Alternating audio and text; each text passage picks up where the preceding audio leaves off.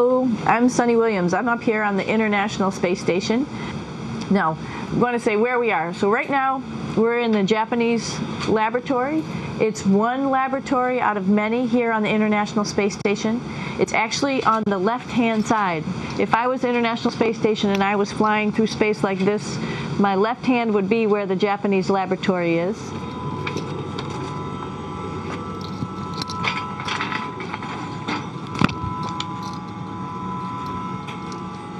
So now again, we're on the right-hand side, all the way on the right of the International Space Station.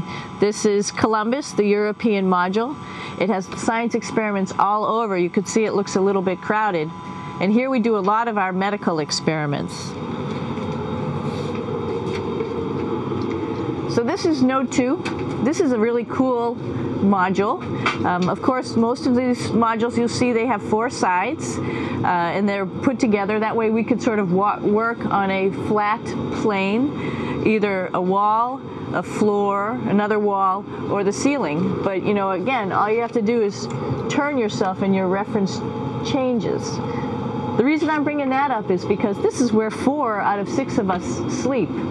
And so people always ask about sleeping in space. Do you lie down? Are you in a bed? Um, not really, because it doesn't matter. You don't really have the sensation of lying down. You just sit in your sleeping bag. So here's one sleep station right here. I'm going in right now. You can follow me if you want. So I'm inside. It's sort of like a little phone booth, um, but it's pretty comfy. I've got a sleeping bag right here that we sleep in so we don't have a, sort of like a little bit of a cover. We don't fly all over the place.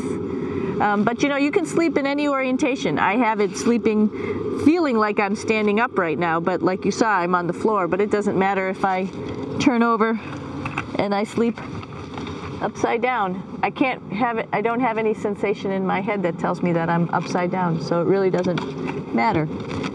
The sleep station is also like a little office. We've got a computer in here. As you can see, we've got a couple little toys. I've got some books. I've got some clothes and other things that make it sort of like home. I'm coming out. And just for reference, that's one sleep station. This one's another right here. There's one on the ceiling, if you want to call it, right here.